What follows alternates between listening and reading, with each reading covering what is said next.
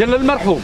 ولكن بالنسبة للتدخل ديال اللي قاموا به العناصر الدرك الملكي راه موقف راه اي واحد غيطيح فيه. راه الدركي ما كانش عنده شي نيه إذا اليوم حنا كل التضامن وكنشكروا لجميع الإخوان المنابر الإعلامية اللي كانت حاضرة معنا.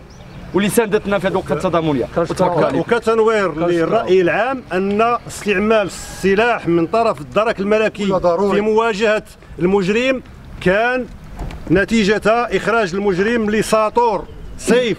يعني السلاح الأبيض كان لابد عليه باش يستعمل السلاح. لولا لم يستعمل السلاح كان هو اللي غادي يقتل من طرف هذاك المجرم. ونؤكد ونؤكد ونؤكد للجهات المسؤولة باش تعطي الفوفار رجال الدرك الملكي ورجال الأمن الوطني باستعمال السلاح والتضامن بالوحده والتضامن نبيل وزاء الرئيس الاقليمي المنظمة الوطنية لحقوق الإنسان محاربة الفساد بعماله المحمديه الآن كنتواجدوا أمام مقر الدرك الملكي بالضرب. اليوم سبب هذه الوقفه التضامنية ديالنا مع الإخوان الحقوقيين بالدروة. اليوم حنا كمنظمة بعماله المحمديه كنعلنوا التضامن ديالنا الا مشروط مع العناصر الدرك الملكي بالدروة اللي كان عندهم واحد التدخل بطولي لإنقاذ واحد الرضيع. اليوم كنطالبوا حنا كمنظمة من الجهات المعنية المختصة بالإفراج على الدركيين.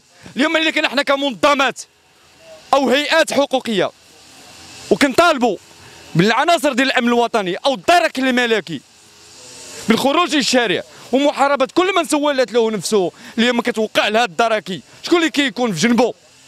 اليوم حنا كما كنطالبوا بنزول رجال الأمن الوطني والدرك الملكي إلى الشارع. اليوم حنا كنطالبوا بالإفراج على الدركي وكنعلو التضامن ديالنا. لا مشروط على التدخل البطولي لإنقاذ الرضيع. كم المهدي شخمان؟ المنسق الوطني الناطق الرسمي للمرصد الوطني حقوق الإنسان. هو تواجدي اليوم ضمن الإخوة وكما تعلمون إحنا في الظرفية ديال ديال ديال الجائحة ديال كورونا أنه يتعذر مثلا لحشد همم كثيرة. حسب سميتو. إحنا اكتفينا بوقفه رمزيه كتعبير حي عن تضامننا لا مشروط مع الإخوة ديال الدرك في محنتهم.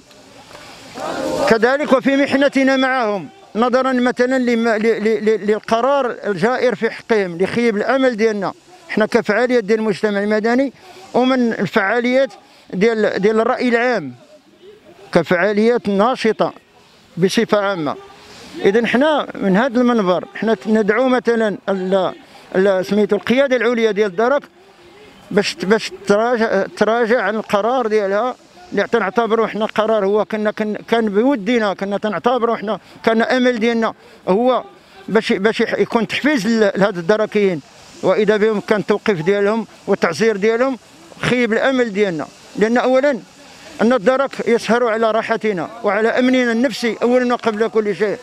بينما من يولي رجل الدرك يلبي نداء المواطنه ويتم اعتقاله. اذا هنا تيطرح لنا واحد السؤال عريض. اذا ما بالك أن المواطن العادي إلى حاول مثلا بسميته والدفاع عن النفس راه راه الدستور. تعطي تعطي الحق باش كل مواطن يدافع على نفسه. واش رجل رجل الامن دركي ويدافع على على على على, على الأمن العام بصفة عامة ولبى نداء نداء المواطنة وواجهه في مواجهة واحد خارج على على على على القانون وهز هز الشاطور. وبينما هو هو مواكب الناس الناس أن زميله في الدرك تضرب. فما بالك؟ اذا هو اذا هناك كان يتعذر الحوار. ولهذا سميتو قام قام بالواجب ديالو الدركي وحنا تنحيو من هذا المنبر. على المجهودات المبذوله ديالهم اللي تيقوموا بها ليل نهار من أجل السهر على راحة المواطن. هذا جانب. جانب أخر اللي فيه الغموض.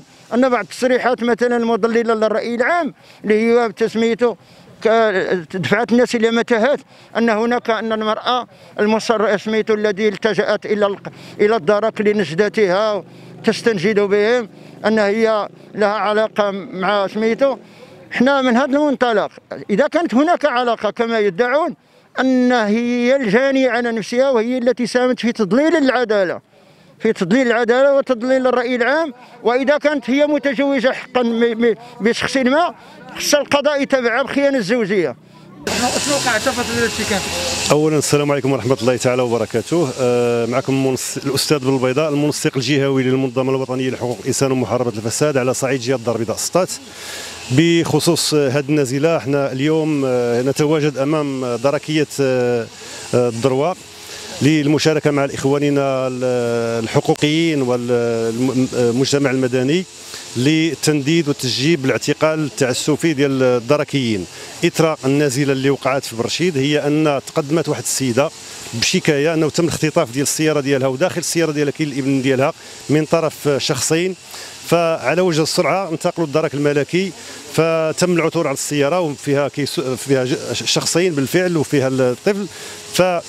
فاثناء محاولة الاعتقال عليهم كان رد عنيف من طرف المجرمين باستعمال ساطور السلاح الأبيض مما دفع بالدركي لاستعمال السلاح